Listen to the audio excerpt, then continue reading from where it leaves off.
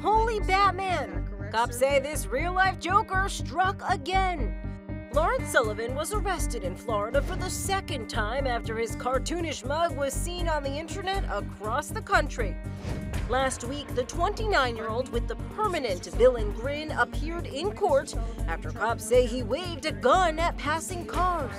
Drivers called 911, claiming they saw a man with green hair and facial tattoos like the Joker from The Dark Knight. They're code. It's a bad joke.